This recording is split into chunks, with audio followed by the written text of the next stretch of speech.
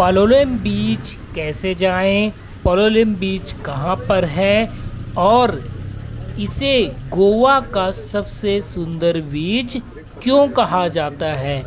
Means Palolem बीच को गोवा का सबसे सुंदर बीच क्यों कहा जाता है? तो आज मैं आपको दिखाने वाला हूँ। तो ये क्या है? ये कुछ इंट्रेंस एरिया है पोलोलेम बीच का और यहाँ पे बहुत सारी छोटी छोटी शॉप्स आपको दिख जाएँगी, जहाँ पे आप गोवा के लिए मीन्स स्पेशली गोवा में अगर आप बिकनी या फिर टी शर्ट मतलब यूज़ एंड थो सौ, दो सौ रुपये में अगर आपको कुछ ख़रीदना है तो आप ख़रीद के जस्ट गोवा में यूज़ करके फेंक सकते हैं, ऐसे आइटम्स मिल जाएँगे। और ये कहाँ पर है? अगर बात की जाए तो ये कर्नाटका एंड गोवा के बॉर्डर एरिया में है। अगर आप इस बीच से 15 किलोमीटर साउथ में चले जाओगे तो कर्नाटका मिल जाएगा। अगर 50 किलोमीटर नॉर्थ में चले जाओगे तो आपको क्या मिलेगा? मडगांव सिटी मिल जाएगी। और उसके बाद फिर महाराष्ट्र बॉर्डर मिलेगा। तो ये आता है मतलब कर्नाटका एंड गोवा का बॉर्डर एरिया है। अब पोलोलेम बीच कैसे जाए? Means how to go to Palolem beach मैं आपको ले चल रहा हूँ और बताता भी चल रहा हूँ जिससे आपको समझ में आ जाए।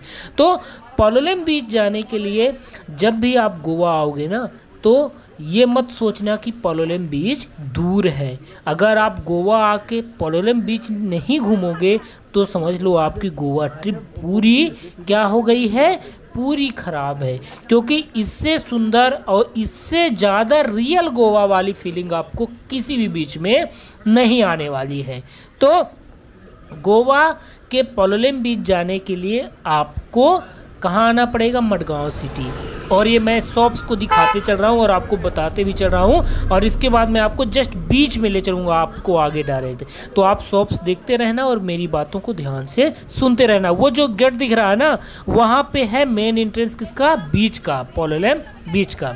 तो पालोलिम बीच आने के लिए आपको मडगांव सिटी आना पड़ेगा। अगर आप बाई एयर आओगे अगर गोवा तो आपसे आपको गोवा इंटरनेशनल एयरपोर्ट पर उतरोगे। इंटरनेशनल एयरपोर्ट से मडगांव सिटी लगभग 20 से 25 किलोमीटर दूर है और फिर मडगांव सिटी से पोलोलम बीच लगभग 30 किलोमीटर दूर है। तो आप आसानी से पब्लिक ट्रांसपोर्ट का यूज़ करना है जो कि बहुत ही सस्ता है। अगर आप बाइक या कार लेना चाहते हैं तो वो भी ले सकते हैं रेंट पर। वो भी आपके लिए आसानी होगी क्योंकि जब मन पड़े तब आप जा सकते हैं। अगर आप पब्लिक ट्रांसपोर्ट यूज़ करना चाहते हैं तो वो भी यूज़ कर सकते हैं। तो मडगांव सिटी से आपको 30 से 35 किलोमीटर दूर पड़ जाएगा क्या? पालोलेम बीच। ये है कर्नाटका और गोवा का बॉर्डर एरिया में। इसीलिए यहाँ पे ज़्यादा आपको बिल्डिंग्स नहीं दिख रही हैं, लेकिन इसकी, इस बीच की सुंदरता ना टॉप बीचेज में आता है। अगर बात की जाए एशिया के टॉप बीचेज में, मैं आगे चल के दिखाने का प्रयास कर रहा हूँ। अभी सुबह दस बजे हैं, इसलिए अभी भीड़ थोड़ा कम है और अभी सारी शॉप्स ओपन नहीं हैं। अगर आप दस बजे के बाद, अभी तो दस बजे हैं, अगर दोपहर में दो से तीन बजे तक आओगे ना तो ये रोड पूरी भरी रहेगी। आपको पैर रखने के लिए भी जगह नहीं मिलेगी, क्योंकि people from another state means Karnataka से भी इधर आ जाती हैं, गोवा वाले आते हैं और इंटरनेशनल टूरिस्ट भी बहुत ज़्यादा आते हैं।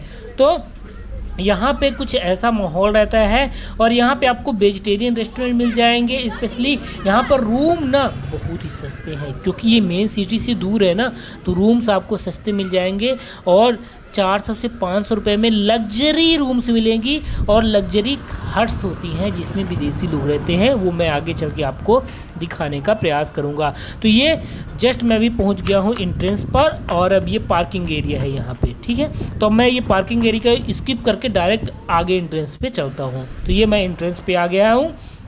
अब ये क्या है? इंट्रेंस है पूरा पोलोलिम बीच का। ये देख सकते हैं, ये वाला गेट ओके अगर आप मेरे लेफ़्ट साइड जाओगे ना इस साइड में आपको दिखाता हूँ तो आपको मंकी आइलैंड और बहुत कुछ मिल जाएगा। अगर राइट साइड जाओगे ना तो इस साइड आगे भी आ, एक बीच है जिसे एगोंडा बीच भी कहा जा सकता है। ये इस साइड जाओगे तो आपको क्या पड़ेगा मंकी आइलैंड और, और सब कुछ जो कि आप बाई बोट आसानी से जा सकते हैं और बहुत सारे लोग जाते हैं। अगर आप बोट से जाओगे मंकी आइलैंड तो आपको लगभग 800 से हज़ार रुपये दे लेगा बोट वाला, आपको मंकी आइलैंड घुमा कर लाएगा। अगर आप ग्रुप में हैं, तभी जाएँ, क्योंकि वो सुनसान एरिया है। अगर लड़की हैं तो कम से कम चार से पाँच लोग ज़रूर होना चाहिए, क्योंकि सुनसान एरिया है, थोड़ा अच्छे से जाना। वैसे गोवा में बहुत सारी स्कैम होते रहते हैं आए दिन, ठीक है? लेकिन मैं मंकी आइलैंड तरफ़ नहीं जाऊँगा। मैं इस साइड जाके आगे आपको चलने का, दिखाने का प्रयास करूँगा, क्योंकि इस साइड अगर आप बाई बोट जाओगे तो आप बटरफ्लाई बीच जा सकते हो, एगोंडा बीच भी जा सकते हो बाई बोट यहाँ से लेके, वो इसी साइड आगे है। बट यहाँ पे एक ये टी शेप में एक आकार है, वो जो आप देख सकते हैं ना, इसके आगे आप नहीं जा सकते, उस हिल से आगे। पैदल, अगर बोट से जाना चाहते तो जा सकते हैं।